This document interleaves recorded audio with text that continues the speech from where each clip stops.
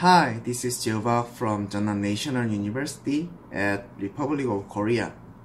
I'm going to presentation about 2D siloxene anode material enhanced cycle stability by using polymer binder. For LIBS anode, silicon presents a promising solution as it has 10 times higher theoretical specific capacity than that of the graphite. However, silicon anode suffers from large volume expansion around 300% during lithiation. Um, it induces the formation of additional SEI layer which, con which continuously consumes electrolyte and results in mechanical pulverization of silicon leading to low Coulombic efficiency and rapid capacity decay. To solve these challenging issues, we developed a novel method using 2D siloxene chemically bound with polymer binder.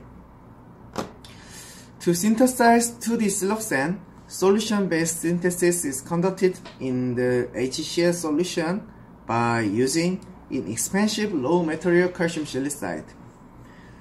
And this, this 2D siloxene has abundant vertically aligned hydroxy groups on the surface to, to enable chemical bonding with other functional groups.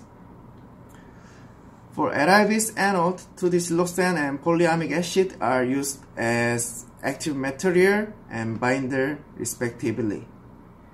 And then just thermal treatment at the prepared electrode, dehydration is proceed yielding, yielding silane benzoate bonding and polyimide from 2D siloxene and polyamic acid.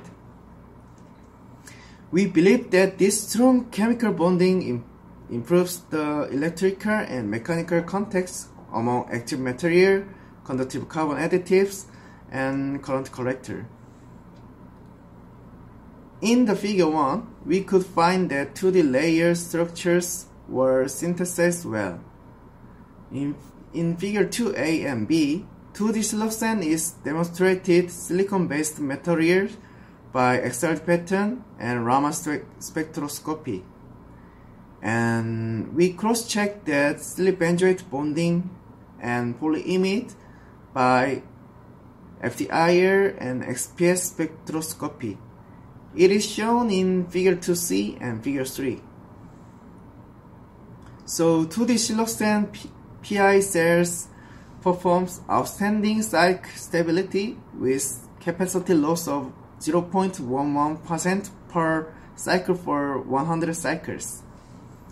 In conclusion, to solve silicon anode challenges such as volume expansion and pulverization, we suggest stable 2D siloxene anode materials with polymer binder. Uh, poly, um, with the subtensional vertically aligned surface hydroxy functional groups, 2D siloxenes can be tightly bound to conductive carbon at conductive carbon additive and current collector via imidization with polyamic acid which elevates the volume expansion and hides the surface of silicon planes from electrolytes. Uh, chemically linkage such as silane benzoate bonding can be formed during electro electrode preparation conducted by heating. Consequently, this further strengthens the electrical contacts among 2D siloxene, conductive carbon additives, and current collectors.